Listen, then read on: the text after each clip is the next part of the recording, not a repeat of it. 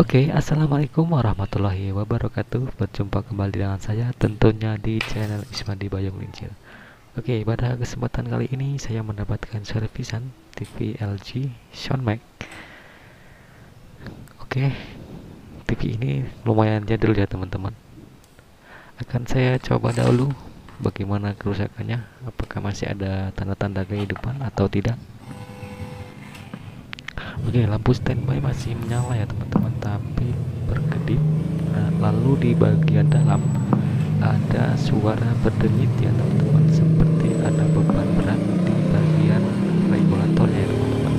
Oke, langsung saja kita bongkar, lalu kita cek sama-sama bagian mana yang rusak. Lanjut.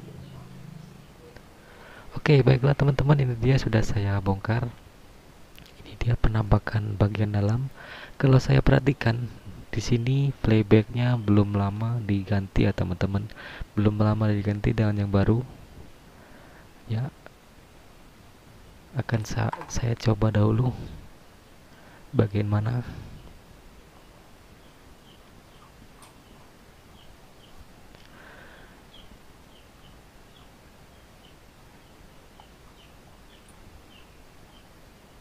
Oke, di sini terbaca 13 eh 113 volt. Namun menurun mengikuti denyutan eh, suara itu ya, teman-teman. Suara itu berasal dari playback kalau saya dengarkan dari sini. Suara itu berasal dari playback. Lalu akan saya coba lepaskan resistor. Saya akan coba lepaskan resistor yang menuju ke playback ya, teman-teman, untuk memastikan saja. Oke, ini dia resistornya sudah saya lepas dan saya akan coba kembali untuk memastikan saja. Oke, di sini terbaca 3 113 volt, tidak berdenyut, tetap tenang. Sepertinya bag, e, beban berat ada di bagian playback ya, teman-teman. Akan saya coba ganti playback dengan yang baru tentunya.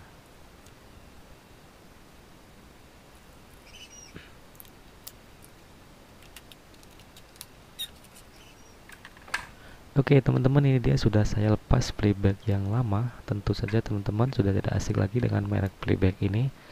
Di sini saya juga mempunyai playback dengan tipe yang sama.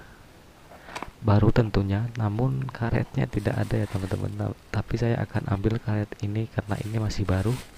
Karet playback yang lama. Oke teman-teman bisa lihat serinya sama dengan yang sebelumnya dengan yang gantian yang sebelumnya 154177B ya teman-teman. Oke teman-teman bisa perhatikan. Siapa tahu ada yang membutuhkan seri ini TV ini ya teman-teman.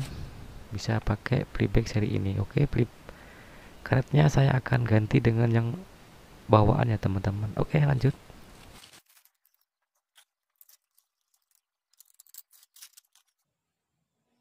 Oke, okay, playback yang baru sudah saya pasang dan tinggal pasang kabel yang menuju ke tabung dan menuju ke kabel fokus dan juga kabel screen ya teman-teman. Oke jangan sampai keliru tapi saya rasa tidak akan mungkin keliru ya karena kabelnya sudah berbeda.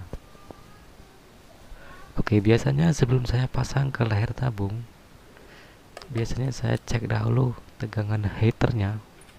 Memastikan tegangannya 4 sampai 6 volt ya teman-teman. Karena ada teman-teman teknisi yang langsung pasang tegangan heaternya sampai 30 volt.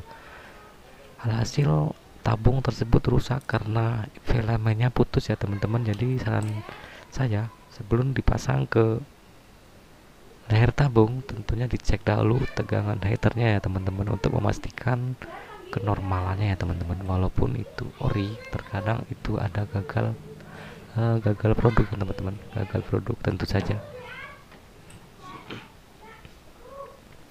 Oke sudah selesai saya pasang. Saya akan mencobanya langsung. Perhatikan teman-teman lampu startnya sudah menyala dengan normal. Kita akan lihat ke depan. Oke akan saya putar dahulu screen dan fokusnya teman-teman. Nah oke okay, teman-teman. Bisa teman-teman lihat akan saya tekan tombol menu masih blur ya saya akan putar di bagian fokus. Oke okay, normal. Tinggal pasang input video. Saya di sini menggunakan receiver ya teman-teman.